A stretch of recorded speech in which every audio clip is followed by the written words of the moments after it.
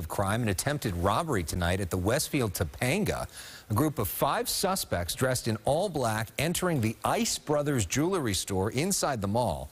Investigators say they were armed with bear spray and used that in an attempt to steal jewelry. It's unknown if anything was actually taken. The suspects were last seen leaving the parking lot driving a Nissan Maxima. More